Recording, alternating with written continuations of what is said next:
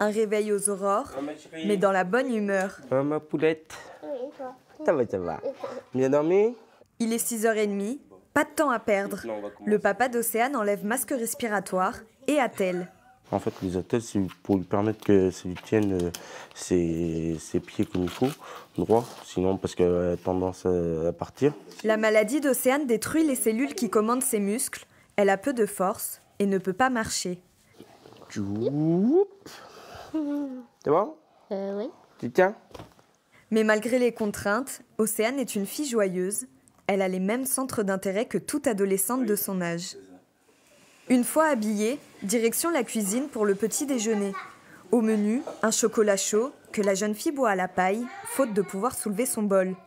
Elle ne pèse que 26 kilos, soit 12 kilos de moins que la moyenne des filles de 12 ans, mais pas de complexe, ses proches sont investis et grâce à eux, Océane accepte sa maladie.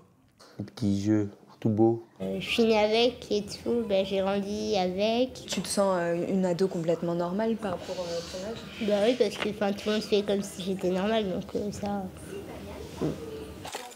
7h15, c'est l'heure pour la fratrie de partir à l'école. Arrivée au collège, Océane est accueillie par ses deux meilleures copines. Bon, la grande. Bonne journée Les fonctions mentales ne sont pas atteintes lors d'une amyotrophie spinale. La jeune fille peut donc suivre un cursus classique avec l'aide d'une accompagnatrice. Elle est en cinquième et la journée commence à 8 heures par un contrôle de SVT suivi d'un cours d'anglais avec son professeur principal. C'est une élève souriante, euh, motivée, un peu timide à l'oral, mais euh, qui travaille vraiment très sérieusement. À vrai dire, en cours, en cours on oublie complètement le, le fauteuil roulant. quoi.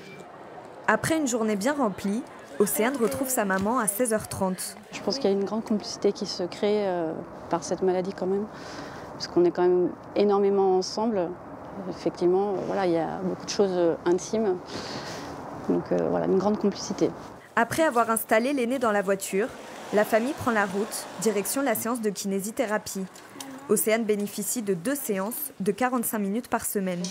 Au fond, comme d'habitude, tout au fond.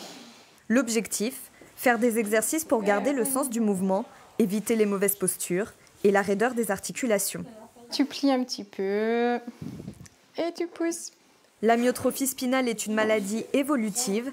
Les recherches avancent, mais pour l'instant, aucun traitement n'a été trouvé pour la guérir. En France, près d'un enfant sur 10 000 est touché par cette pathologie à la naissance, soit 130 enfants en 2013.